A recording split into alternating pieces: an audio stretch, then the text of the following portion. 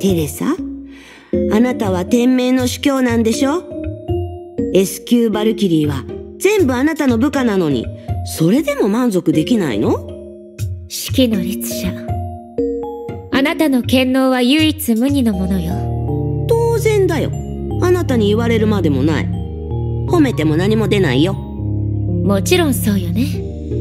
だって、あなたは自由な律者だもの。でも、実のところ私が言いたかったのは、あなたならどんなに遠くにいようと、必要な時には必ず私たちを守ってくれる。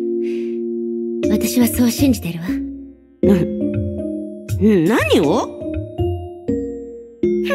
もうどうでもいい。あなたたちの本性がやっとわかった。どうにかして頼み事を引き受けてほしいだけでしょ？私がいないと何にもできないから。あの、皆さん喧嘩をや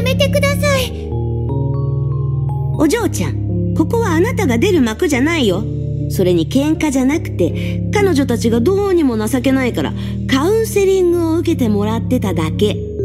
でも、今はみんなで一致団結しないと、誰の力が欠けてもダメです。前に会ったスーサナさんも、ごく普通のバルキリーでした。でも、彼女がいなければ、海炎上の時にもっと手間がかかったはずです。ジェーレはあ、もう勝手にして。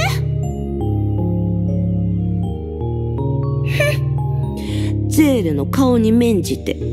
これは貸しだよ。わかった？つまりみんなと仲直りしてくれるんですね。とにかく、そんな純粋な目で見ないで。あと、その変な話し方もやめて。お願いだから。あ、うん、ごめんなさい。で、そろそろ出発できそう？どうやら大丈夫みたいね。言っておくけど、本当に必要な時にしか手を貸さないよ